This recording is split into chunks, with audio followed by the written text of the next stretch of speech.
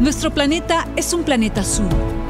Los océanos cubren casi el 75% de la superficie de la Tierra. Son vitales para nuestra supervivencia. Nos ofrecen alimento, experiencias, alegrías y son la fuente de ingresos de millones de personas en el mundo.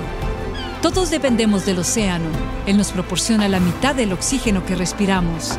Absorbe 50 veces más dióxido de carbono que nuestra atmósfera y da vida al 80% de los seres vivos del planeta. Mi nombre es Vanessa Ock y ando en busca de aquellos héroes cuya misión es proteger el océano, el gran proveedor.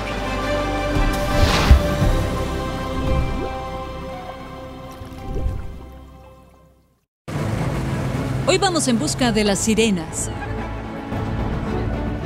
las criaturas mitológicas más fascinantes que han existido.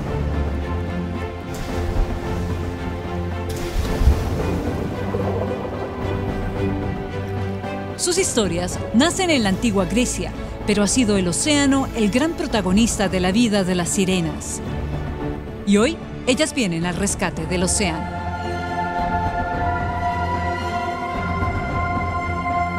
Hola, Chris.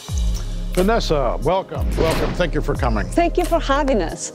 Chris es un ingeniero especializado en arte y ha dedicado los últimos años de su vida a esculpir estatuas de sirenas para que sean la casa de nuevos corales que albergarán a millones de criaturas marinas. So, what do you get inspiration for something like this, Chris? When I was just 13 years old, I got my first face mask and headed down to the Florida Keys, and I was overwhelmed at all of the marine life, all the biology is surrounding me. The beautiful corals, the seagrasses, the turtles. It was just magical, magical time. Su trabajo es esencial, ya que los corales no se están adaptando al rápido aumento en las temperaturas en el océano. Las aguas calientes hacen que se blanqueen y mueran, y con ellos el 90% de la vida marina.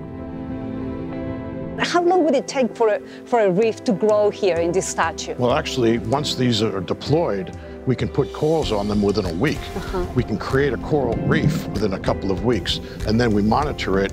But in about a year's or two years' time, they start to merge together.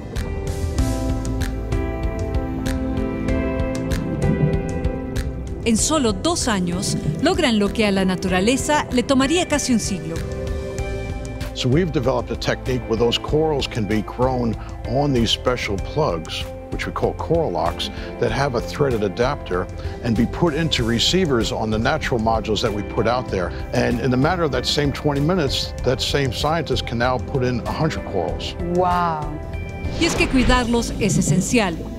Los arrecifes de coral protegen las ciudades costeras de los huracanes, aportan 3.4 billones de dólares cada año a la economía del país, son fuente de trabajo, turismo, alimentos e ingreso, y a nivel mundial, 500 millones de personas dependen de los arrecifes de coral para vivir.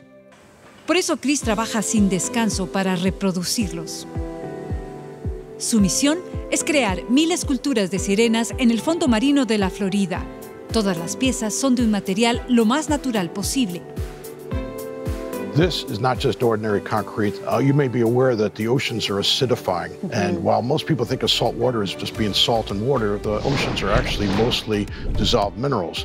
Those minerals, like carbon, calcium carbonate, are used by these animals to create their exoskeletons to live in. So, in order to buffer that acidification, these modules are covered in calcium carbonate. You can see the, the sparkly crystals that Yes. are all over the surface. That creates an environment that's rich in calcium carbonate, so those organisms now have the, the vitamins and minerals they need to grow strong and to, to rapidly develop. Una vez las esculturas están listas, la organización Ocean Rescue Alliance se encarga de llevarlas al mar. Oh, hi. It's Shelby and Stacy from Ocean Rescue Alliance. Great, it's nice to meet you. So nice to meet you, Vanessa. We're super excited to show you the site today. So we're going to our Thousand Mermaids artificial reef site today. We have about 70 modules and 30 mermaids. Los arrecifes de coral adquieren sus colores vibrantes gracias a las algas que crecen en su interior. Ellas utilizan el tejido coralino como refugio y en retorno les proporcionan alimento a los corales. Pero cuando los corales se estresan por las altas temperaturas, descartan las algas quedándose blancos y vulnerables a las enfermedades y a la muerte. En las últimas décadas hemos perdido del 30 al 50% de los corales en el mundo. Por eso, el proyecto de las mil sirenas es tan importante. ¿Dónde estamos en este momento? Where are we right now? So we just got to the Thousand Mermaids Artificial Reef Site. It's really important for the environment. This is our Thousand Mermaids site that we initially started a year ago, and you'll see the big difference. One has a ton of growth, yeah. and our new site doesn't have as much growth yet, but you'll see how quickly stuff starts to grow on the module, as well as recruit fish. Ahora vamos a conocerlas.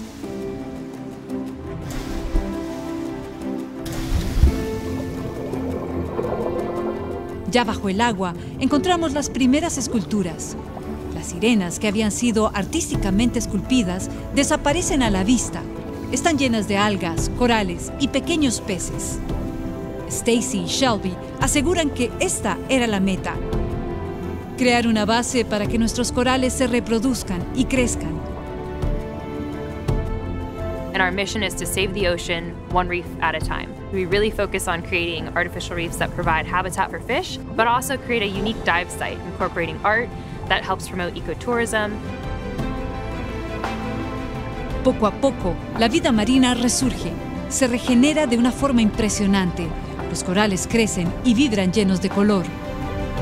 Peces de todos los tamaños encuentran refugio aquí y las sirenas se convierten en su hogar, en el océano el gran proveedor.